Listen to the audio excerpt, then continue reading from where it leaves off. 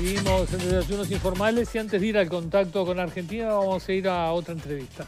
Sí, se los contábamos más adelante, es algo innovador. Coco es una plataforma que fue creada en el Centro de Innovación y Emprendimientos de la Universidad ORT, que utiliza la digitalización y la inteligencia artificial para conectar y fortalecer los vínculos entre los psicólogos y sus pacientes y también en los procesos de tratamiento.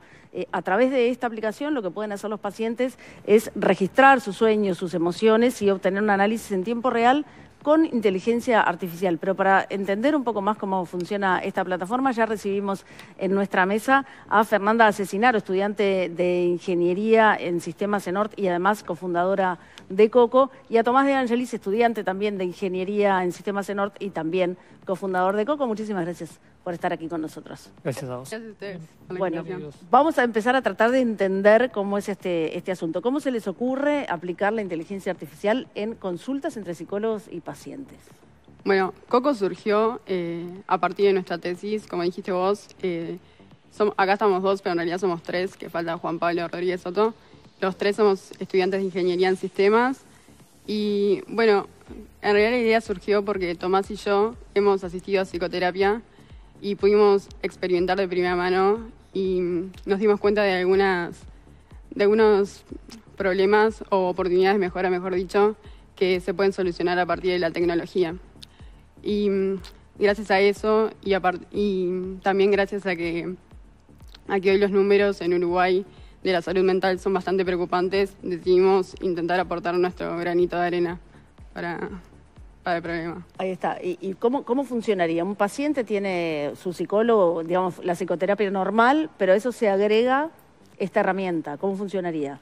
Exacto. La idea no es reemplazar el psicólogo, ni mucho menos, sino que sea una herramienta que los ayude a realizar un mejor trabajo.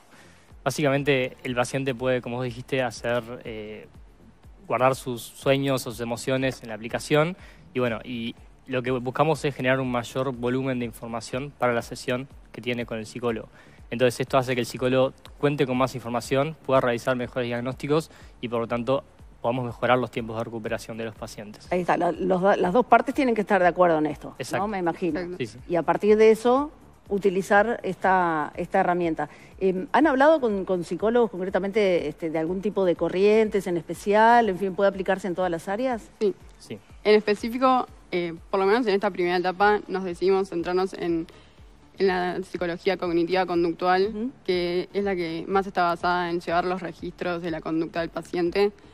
Y, bueno, a lo largo de estos meses nosotros estamos con, este proyecto desde febrero del año pasado y hemos hablado con un montón de psicólogos y, también pacientes que nos han aportado un montón de información valiosa eh, para construir lo que es Coco hoy. Y tú decías que la idea surgió a partir de problemas reales, perdón, que habían, que habían detectado en sus consultas o en su, en su psicodiagnóstico, no, en su psicoterapia, perdón. Eh, ¿Cuáles eran esos problemas reales? Bueno, el primero... Que, hicieron solucionar, digo, ¿a dónde apuntaban?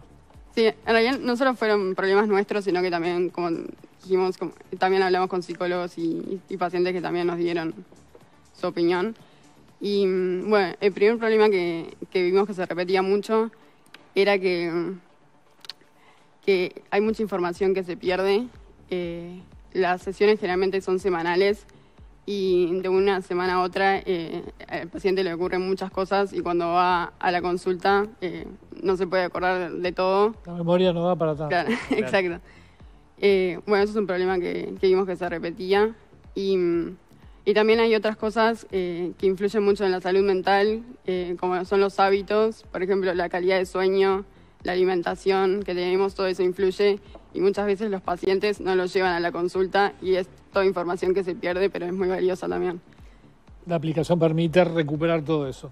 Exacto. La idea es después vincularnos con otros dispositivos, por ejemplo relojes inteligentes y eso, y llevar un volumen mucho mayor de información, ya sea de la calidad de sueño, del deporte que está haciendo, de la alimentación de la persona, y después ahí se involucra un poco la inteligencia artificial. eso quería preguntarte, ¿dónde entra la inteligencia artificial? Exacto, en encontrar eh, relaciones entre las cosas. Por ejemplo, eh, si vos guardás todas las emociones de las personas y, el, no sé, por ejemplo, el clima del día o el estado de sueño, podés empezar a identificar patrones como que las personas están más tristes eh, los días que llueve más o están mejores los días que durmieron mejor o que hicieron ejercicio. Entonces empezar a identificar patrones entre el estado de ánimo de las personas, por ejemplo, eh, y, cómo se comportaron esos días. ¿Esas ideas se las dieron eh, los psicólogos con los que hablaron? Esa, esa, esa idea de vincular este, las, las, distintas situaciones de la vida cotidiana para, para, aplicarlas? Sí, o sea, fue también como una mezcla de lo que nosotros hemos experimentado y lo que también nos contaron los psicólogos con los que hemos conversado. Ahí está. ¿Cómo hace este, una persona que está en este momento escuchando esta entrevista, sea un psicólogo, sea un, una persona que va a una psicoterapia, para poder poner en funcionamiento esta herramienta? Bien, es bien fácil. O sea, se entra a cocoterapia.com uh -huh. y ya ahí se pueden crear la cuenta tanto los psicólogos como los pacientes. Y para conectar, simplemente el psicólogo puede enviar un mail eh, al paciente pidiendo conectar y ya se, ahí se crea el vínculo entre ellos. ¿Ya el, se está usando? Ya se, está, ya, ya se puede usar. Bien, perfecto. Bueno, eh, Tomás de Angelis, Lucía, Fernanda Cesinaro, perdón, que me confundí de nombre. Muchísimas gracias, mucha suerte con esta aplicación y ya volveremos a, a conversar para ver cómo está funcionando. Bien. Muchas gracias. gracias. Muchas gracias. Felicitaciones. Muchas gracias. Muchas gracias. Nosotros vamos a ir a